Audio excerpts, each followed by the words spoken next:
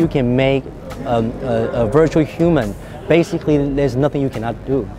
And you don't even need to control this digital avatar. Uh, we, we can make you speak whatever we want.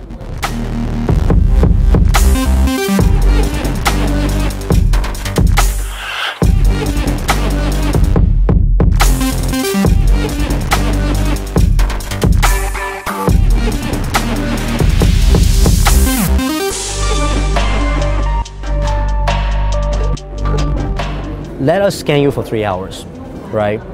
And your, your virtual performance is going to be transformed into that, uh, that three hours are going to transform into data.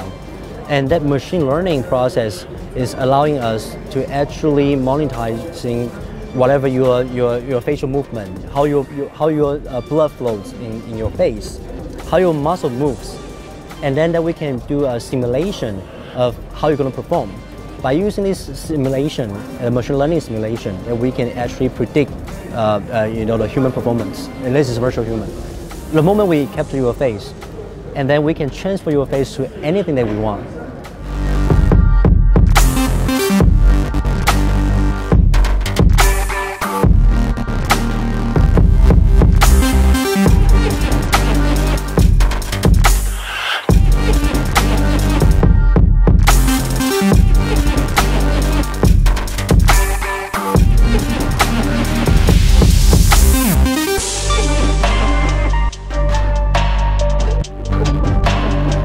I signed an NDA, I couldn't tell uh, which number, but it is they are the world-class, most iconic uh, business person uh, in Greater China who actually came to DD last year uh, to, to, uh, to full-scale scan his face.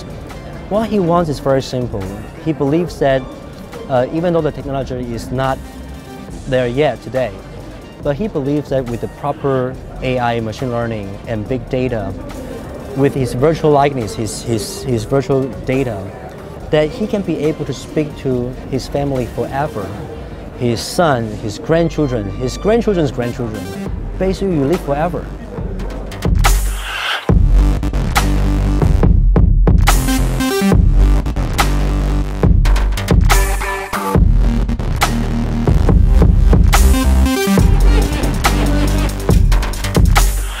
2012 that um, um, there was an accident and my mom passed away uh, in 2012.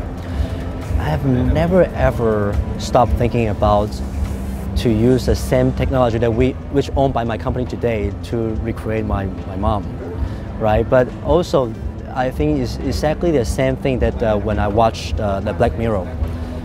What if this actually happens? How do you face it? The first time when I saw uh, uh, Teresa Teng's family uh, in LA, they came visit us to check out the, um, the, the, virtual Teresa Teng. The first thing that I saw, their reaction is they cry. And even one of, his, one of her family members is actually a general uh, in Taiwan, a retired general in the army service. Even a tough guy like him there's uh, tears in his eyes and he said that he just doesn't know how to react. So this is a very scary technology. I have been asking so many questions internally, not even externally, about how do we prevent this technology in the right hands.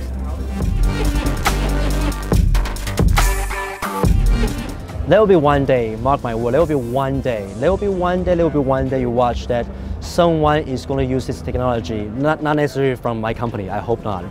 But there will be one day it will happen that people will start questioning, people will start to question about whether every single video footage is real or not. Not today, but it will be one day everybody will question about it. And how you prevent it, I don't know. You, you, we, we definitely need to, to think about to create a system, a software or police system, you know, to prevent this happening. But I can guarantee you, even though we are trying so hard, but it will happen one day. I believe in the future that um, in the next five years, that people actually will live in a world like pretty much like Ready Player One. Um, that there will be a reality world like, like, like this, a reality world, and it's going to be a virtual world. And I believe that one day the boundary, the line in between the virtual world and reality world will be gone. Right? The virtual and reality is actually coexist. And if that happens in the next five years, and I, I can assure you one thing, the digital avatar, the virtual human, is going to be the most important thing because this is how, this is how you present yourself, not us anymore. It's pretty much like the Ready Player One. You have a very iconic uh, digital avatar who's going to speak on behalf of you, who's going to act on behalf of you, and people are going to recognize this guy more than us.